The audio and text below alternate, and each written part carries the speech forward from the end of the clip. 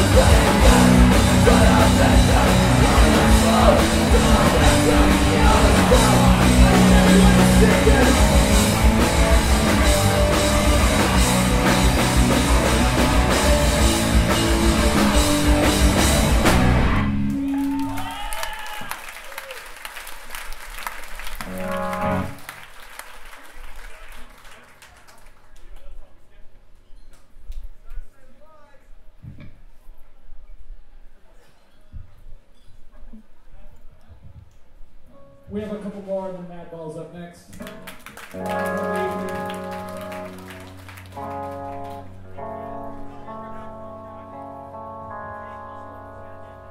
Also, there's another show at the Barbary. I guess there's another show somewhere else too. So don't call it a night after this. There's plenty more fun to be had.